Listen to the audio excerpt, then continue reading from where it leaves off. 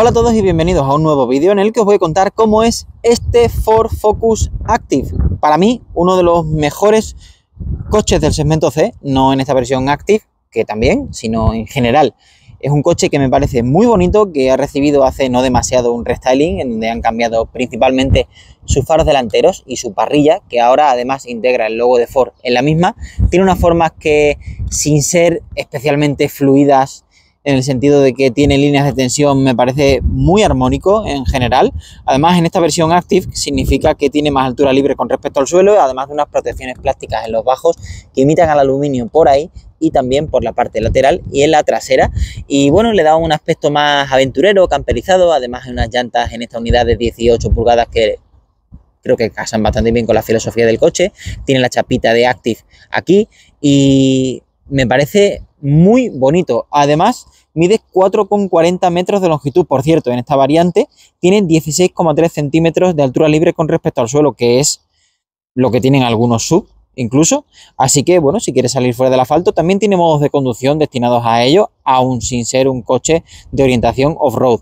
Como te decía, son 4,40 metros de longitud, 1,84 de anchura y 1,50 de altura. Y además su distancia entre ejes, que hace que tenga muy buen espacio en las plazas traseras, como luego te voy a contar, es de 2,70 metros.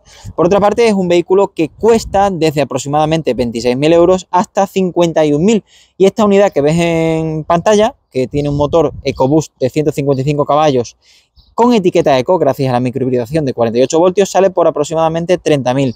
Detalles que me gustan mucho también en la parte trasera, bueno, pues que los escapes son de verdad, como tienes aquí, y también el spoiler que tiene sobre la luneta, que es un poquito más acusado que en otros modelos de su categoría, así también como la luneta de la aleta de tiburón, y también una curvita aquí que me gusta mucho el juego que hace en las puertas traseras. Como digo, la cintura está marcada, al igual que también pasaba en el paragolpes delantero y en el trasero dispone de líneas de tensión en esta zona de aquí y también por aquí, aunque las formas de la zaga son bastante simples y aquí sí que creo que cambia menos con respecto a la versión a la que sustituye, que es prácticamente igual, cambiando un poco las partes del frontal y otras zonas que te voy a contar en el interior, como por ejemplo la pantalla multimedia. Si hablamos del maletero, son 392 litros de capacidad con una muy buena boca de carga, es un maletero bastante útil y funcional, ya que, como ves, dispone ahí de una trampilla para acceder desde las plazas traseras y además es uno de los más grandes de su categoría.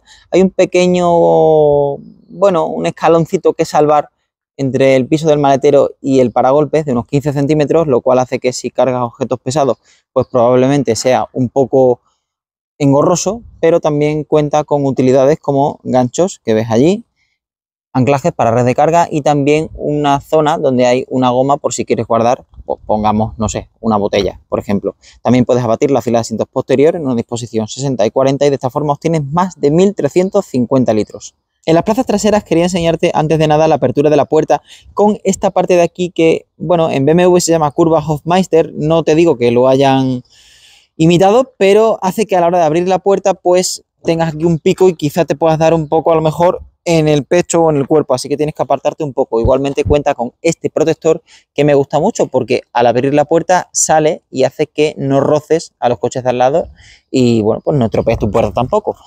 El hueco para entrar es súper grande, la apertura de la puerta es de unos 80 grados, podría ser algo mayor, pero como el hueco ya digo es tan amplio, pues lo solventa con eso. Además, la altura está muy bien para ser un segmento C.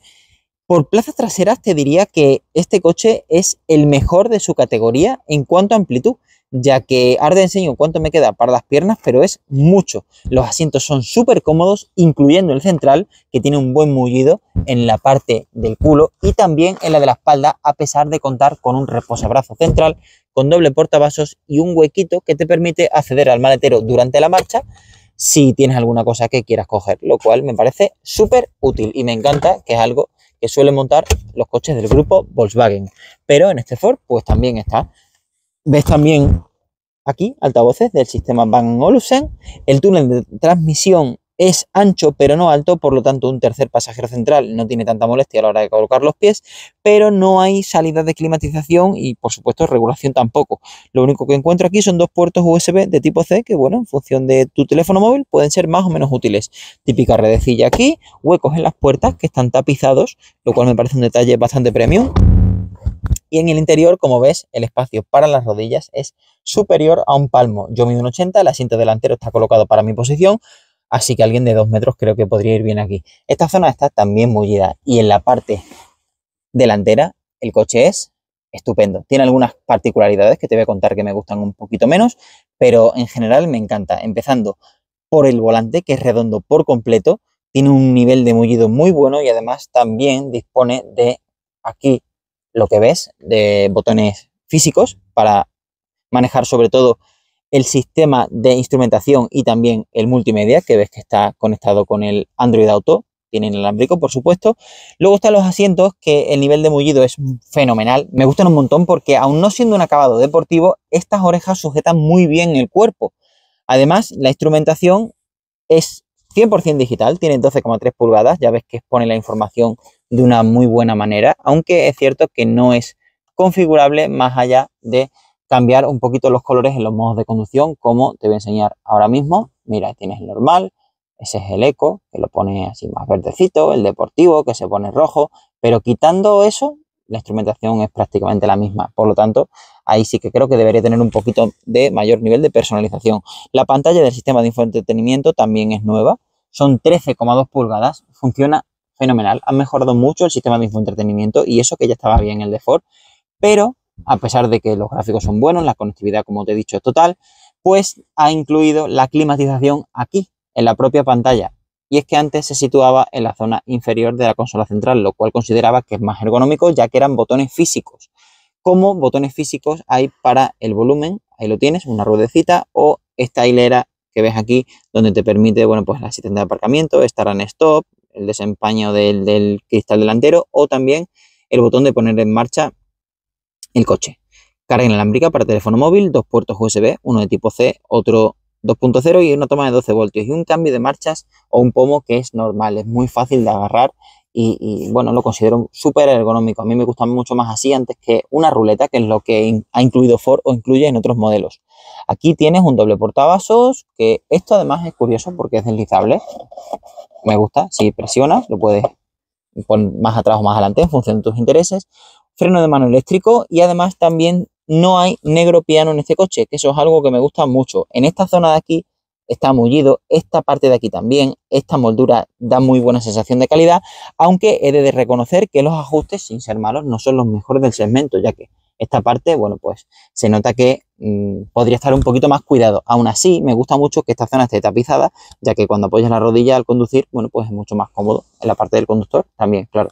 El asiento es calefactable en tres posiciones diferentes y creo que el techo panorámico que tiene y llega hasta atrás del todo, de hecho te lo voy a enseñar, llega hasta aquí, podría tener una tela que fuese un poco más opaca y dejase pasar menos la luz, ya que cuando hace mucho sol, pues peca precisamente de eso. Pero bueno, en general considero que está muy bien resuelto, me gusta mucho cómo está terminado este Ford Focus y quitándolo de los botones táctiles de la climatización, me parece que pocas pegas se le pueden poner a este coche. A nivel dinámico, el Ford Focus me parece que no estoy descubriendo yo aquí un pastel y es que es de los mejores que hay en su categoría.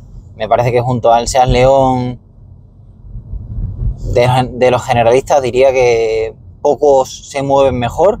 Si te vas ya a lo mejor a un clase A, un serie 1, vale, vale, ahí te lo compro. Pero Seas León y Ford Focus diría que a nivel dinámico los mejores. Dicho esto, el motor este le sienta que flipas al Focus.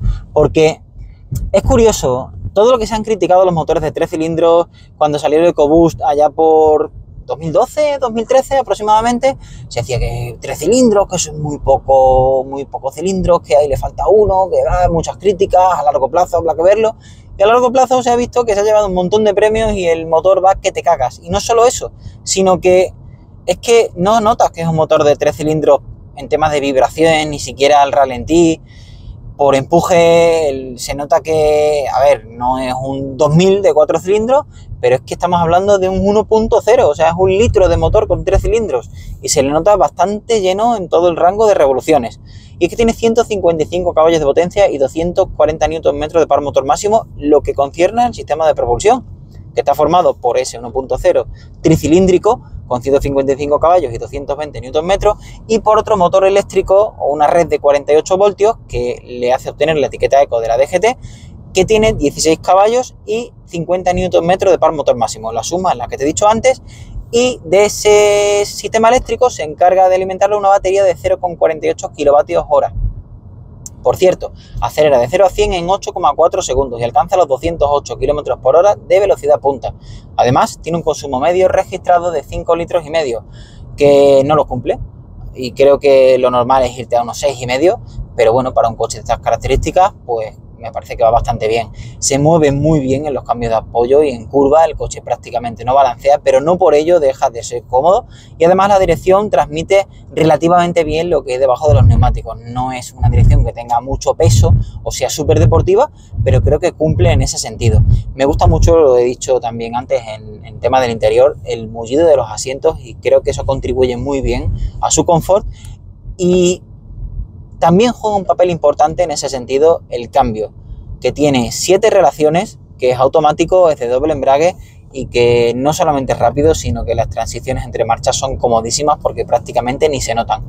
Además, este coche tiene varios modos de conducción, algunos que, bueno, al ser la versión Active, bueno, pues tiene el normal, el Eco para consumir poco, el deportivo que le saca el chicha al motor, resbaladizo que es para zonas de cuando está llovido o el suelo está mojado, el asfalto, y también de pista por si quieres ir pues no sé, este coche es un poco más campero que la versión normal, pues algo hace. Pues tampoco creo que sea especialmente relevante. No lo he probado en profundidad, pero no me parece, en base a mi experiencia, que vaya a ser algo súper diferencial. La visibilidad es buena, un coche que es fácil de manejar, pero a la vez es amplio por dentro. Así que eso unido a sus cámaras hace que aparcarlo en la ciudad sea muy sencillo. Bueno, dos cosas que se me han olvidado comentar, una positiva y otra negativa. La positiva es que este coche en los modos de conducción, por lo menos entre el normal y el deportivo, sí que cambia bastante. Y en el deportivo se nota que hay otra puesta, a punto, pero el setup, digamos, que hace que te dé más sensaciones el coche. Y en cuanto a la negativa, el tacto del freno, es verdad que te acostumbras a él con el tiempo, pero se nota esa microhibridación y es que tiene un escalonazo tremendo de que cuando tú pisas eh, te frena de una manera muy brusca y yo después de cuatro días con el coche me he acostumbrado, pero me ha costado. ¿eh? Y hasta aquí mi repaso al Ford Focus Active, un coche que creo que cumple en prácticamente todo, que por calidad-precio es de los mejores de su categoría. Bien, es cierto que ha subido, como prácticamente todos en términos de tarifa, pero que cumple por maletero, por amplitud, por comodidad y por comportamiento dinámico, así como por tecnología, que ha mejorado con este lavado de cara o restyling y también por eficiencia en la conducción. A mí es uno de los modelos que más me gusta del segmento C, quitando algunas cositas que ya te he contado en el interior, como por ejemplo los botones del clima táctiles o el techo panorámico que me parece que deja pasar demasiado la luz, pero son nimiedades con respecto a todo lo que ofrece, por lo menos desde mi punto de vista. Así que nada, dime qué te parece en los comentarios y si quieres que siga haciendo contenido sobre coches, suscríbete a este canal y apóyame. Chao.